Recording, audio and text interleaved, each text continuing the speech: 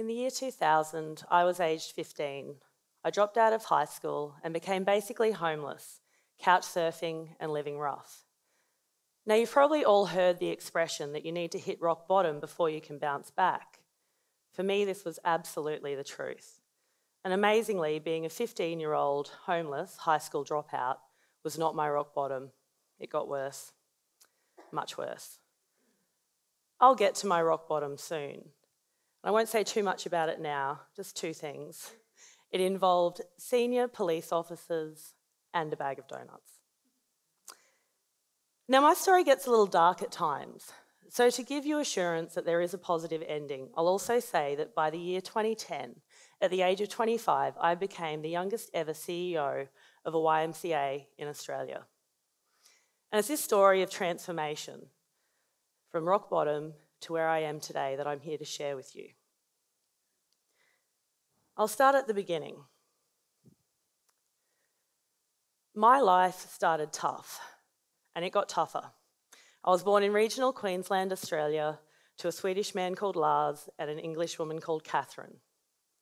By the time I was two, they'd divorced, and Catherine and I had been kicked out of the big tin shed that I'd been born in. I didn't see Lars again until my mid 30s. Although I'm sure that Catherine did her best as a single mother, she also suffered from severe mental health issues, which meant that she was institutionalised and treated until she was deemed well enough to return and continue mothering. And during these times, in the absence of both of my biological parents, I was put into short term foster care. Now, some people that do foster care are amazing. It's obvious they're there for altruistic reasons. And some of the families I lived with were like something out of a fairy tale, the Brady Bunch, even. These were amazing times. However, there's also people in foster care who are not there for the right reasons. These people should not be allowed to care for vulnerable young people. My mother would always return, and nothing would be spoken of until it happened again.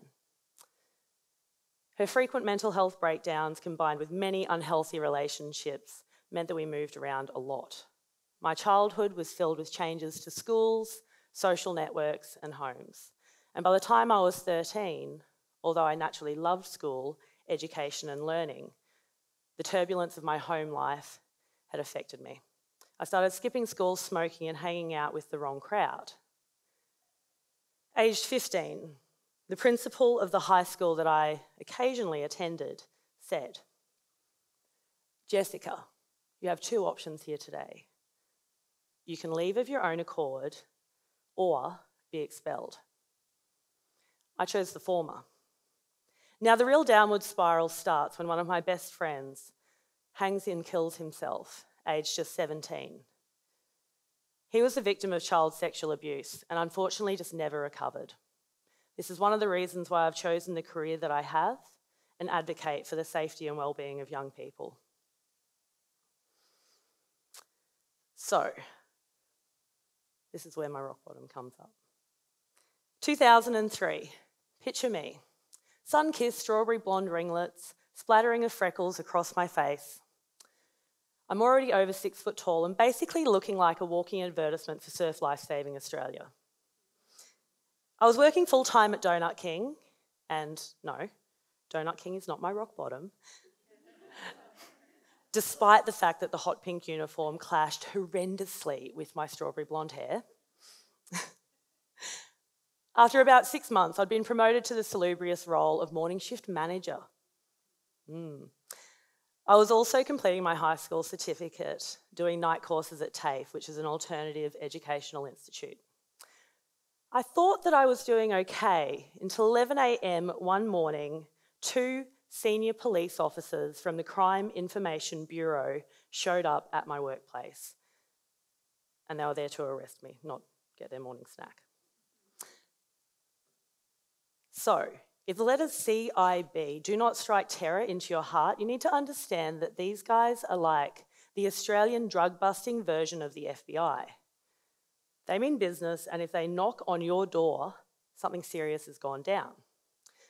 So here I am, looking at two of the largest, scariest coppers that I have ever seen. These guys are fully cut out. They're wearing bulletproof vests, they're armed with guns and tasers, whilst I am armed with a hot pink visor and a bag of cinnamon donuts. Despite my very persuasive negotiations, including attempts at bribery, these two would not be persuaded. They were adamant that no, I could not finish my shift, and yes, I must attend the police station with them right then and there. When I got to the police station, I was charged with drug trafficking and supply to an undercover police officer. Turns out I was target number 21 on an undercover sting that the, the, that the department had set up in Queensland to bust the drug trade at the time. Now, you're probably wondering how I got here. Flashback to finding my best mate hanging from a tree when I was aged only 15. That two year downward spiral included me moving in with the love of my life, Sean. Sean also suffered child abuse. And throughout our relationship, he used drugs daily, and he was also physically and emotionally violent. This is something that I still wear the scars for today. Sean was number four on that target list. He'd been introduced to Russell, the very vanilla, nondescript looking boyfriend of his bikie tattooing, homebrew making, cocaine snorting, Centrelink welfare rorting mother, Kerry. Turned out Russell was not actually Kerry's boyfriend, he was, in fact, an undercover police officer. By the time I was arrested, Sean had been supplying him with a range of narcotics for over six months. Yes. Following my arrest, I was on bail for almost a year. During this time, they took away my passport and I had to sign in at the local police station weekly. I didn't tell anyone what was going on, let alone ask for advice. I actually don't know who I would have asked. There really just wasn't anybody. Finally, I got my day in Supreme Court. I stood there wearing the only suit that I owned, and I was terrified, shaking.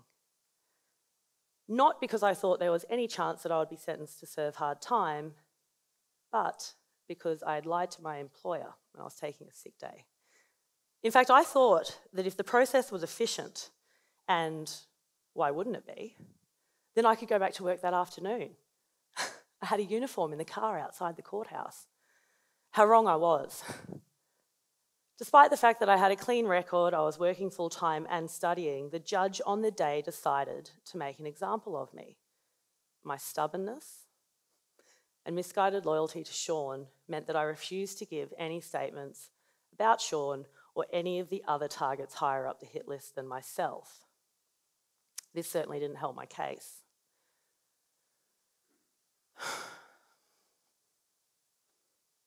I was sentenced to two years in maximum security prison, a sentence that I served in full at the Brisbane Women's Correctional Centre. Now, the stories that I have and lessons that I've learnt during my time in prison could fill another dozen TEDx talks. Today, I'll just say this that going to prison was the best thing to ever happen to me. Because for the first time in my life, I had adult women around me who cared, who supported, who mentored, and who told me that I could do better than I was. Never underestimate the impact of a positive role model upon the life of a young person.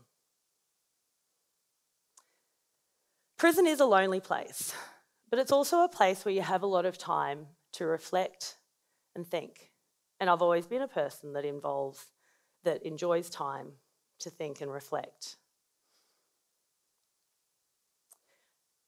I also enjoy working my way through extreme challenges, something that's relevant to the CEO role that I do today, provided I have the opportunity to plan my way to get through it.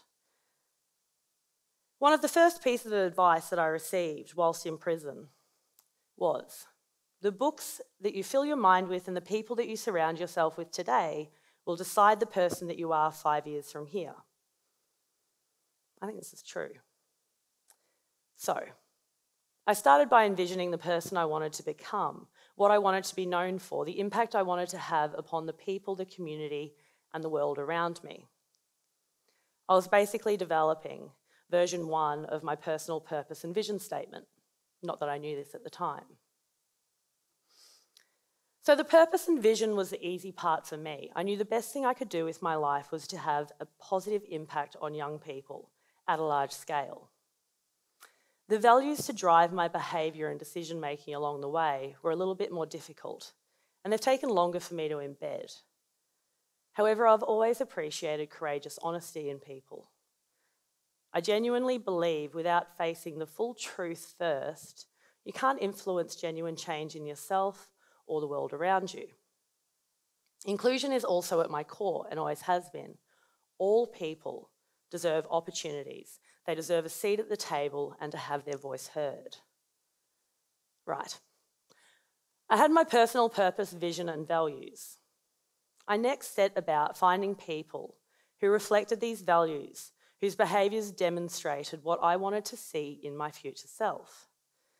I also actively avoided people who showed behaviours that were in contrast with the person I wanted to become.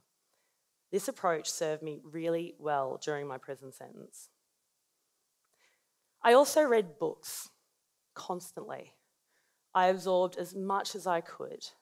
Successful stories about politicians, leaders, CEOs, sports stars, books about sports game strategies, organisational management, anything that included processes for improvement. In fact, I read my way through most of the prison library's non-fiction section within two years. The common theme that I saw in all of these books, the real success stories, were that the leaders had a strategic plan, and that's where they started. And these strategic plans had five key elements. They had a vision for where they were going, they had a purpose for why they wanted to go there, the values to drive behaviours and decision making, clear goals, and the success measures to know if they were on track with their strategic plan. This all made a lot of sense to me, and I wanted to apply it. But you have to remember that at the time, I was not a successful CEO. I was, in fact, a 19 year old with over 12 hours a day alone in a concrete cell. The only initiative or organisation that I had to develop a plan for was myself. So that's exactly what I did. 2005, I'm released into what seems like an entirely new world. The complete lack of support and reintegration was a shock to me. Imagine going from a place where you have little to no choice, where people are telling you where to be, what to do, what to eat, what to wear every minute of the day, to the real world, where you have to constantly make decisions for yourself. This is really tough, and I believe one of the key reasons why many ex prisoners return to the known safety of incarceration. Australia's recidivism rate was over 60% in 2019.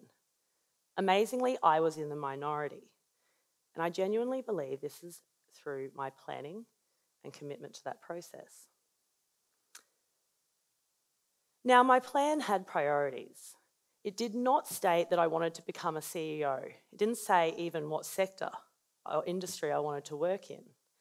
However, it did clearly articulate the following priorities that I would have a positive impact on the lives of young people and advocate for child safety. It also said that I would stay committed to challenging myself, my learning, my personal growth, and I would maintain health and fitness. Now, over the past 20 years, my strategic plan has evolved. I now use a modified version of the Kaplan and Norton's balanced scorecard approach. And although I have this plan down to memory, I still go through an annual process of review, or more often if I start to feel lost, or if I have a major decision to make and I'm not quite sure which way to go. I find the process of review and planning not only refocuses, but re energizes me when I have challenges. Now, I understand many people would say, sure, I set goals too. And that's great. Goals are really important as part of a plan. In business, We all know that a strategic plan requires much more than goals to succeed. For what is a goal without those other four elements? The vision, the purpose, the values, and the success indicators to know if you are succeeding. So, knowing this, why don't we all apply the same processes to our personal lives? We are the most important initiative that we will ever lead. And realistically, the only one that we will have full control of.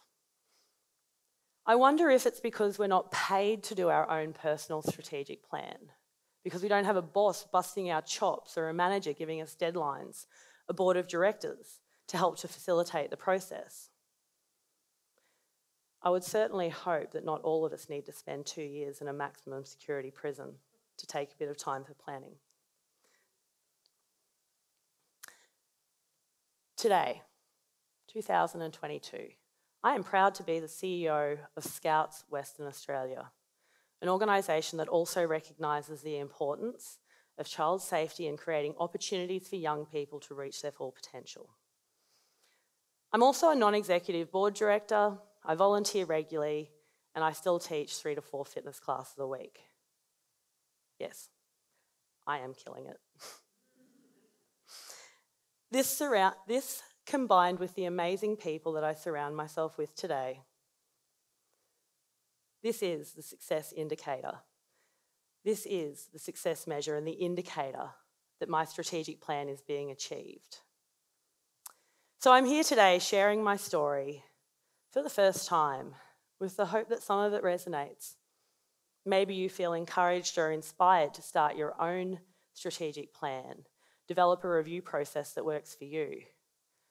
Because I know it is this plan and my commitment to it that means I will never hit that rock bottom or go anywhere near it ever again.